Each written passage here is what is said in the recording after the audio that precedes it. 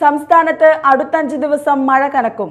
September ഇരുപത്തെട്ട് മുതലാണ് സംസ്ഥാനത്ത് മഴ മുന്നറിയിപ്പുള്ളത്. ഇരുപത്തെട്ടിന് ഏഴ് ജില്ലകളിലും ഇരുപത്തൊമ്പതിന് അഞ്ച് ജില്ലകളിലുമാണ് യെല്ലോ അലർട്ട് പ്രഖ്യാപിച്ചിരിക്കുന്നത്. വടക്കു പടിഞ്ഞാറൻ ബംഗാൾ ഉൾക്കടലിൽ പശ്ചിമ ബംഗാൾ ഒഡീഷ തീരത്തിന് സമീപം ന്യൂനമർദ്ദം ശക്തി പ്രാപിക്കാൻ സാധ്യതയുണ്ട്. സെപ്റ്റംബർ ഇരുപത്തൊമ്പതോടെ വടക്കൻ ആൻഡമാൻ കടലിന് മുകളിൽ ചക്രവാത ചുഴി രൂപപ്പെട്ടേക്കാനും സാധ്യതയുണ്ട്. കൂടാതെ തെക്ക് കിഴക്കൻ ഉത്തർപ്രദേശ് തെക്കൻ ഛത്തീസ്ഗഡ് തീരദേശ തമിഴ്നാട് വടക്കൻ ഒഡീഷ എന്നിവയ്ക്ക് മുകളിൽ ചക്രവാത ചുഴി സ്ഥിതി ചെയ്യുന്നു. ഈ സാഹചര്യങ്ങളിലാണ് സംസ്ഥാനത്ത് മഴ സാധ്യത പ്രവചിച്ചിരിക്കുന്നത്.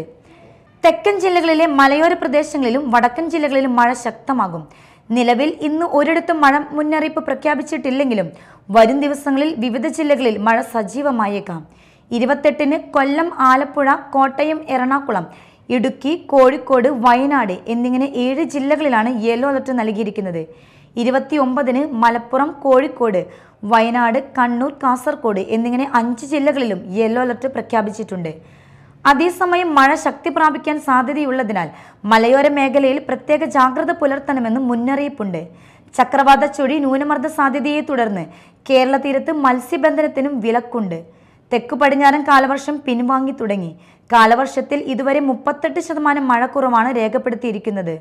ഒക്ടോബർ ഒന്ന് മുതൽ തുലാവർഷം ആരംഭിക്കുമെന്നാണ് കേന്ദ്ര കാലാവസ്ഥാ വകുപ്പിന്റെ വിലയിരുത്തൽ. News desk media time.